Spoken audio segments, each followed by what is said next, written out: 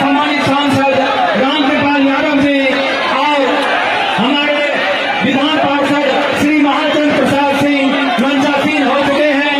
मैं अपने तमाम मतदाताओं को बंधुओं से निवेदन है कि कृपया शांति बनाए रखें, और हमारे एनडीए के सारे नेताओं का भाषण सुने और उसका लाभ उठाए। अब अपने सम्मानित प्रत्याशी श्री मनोज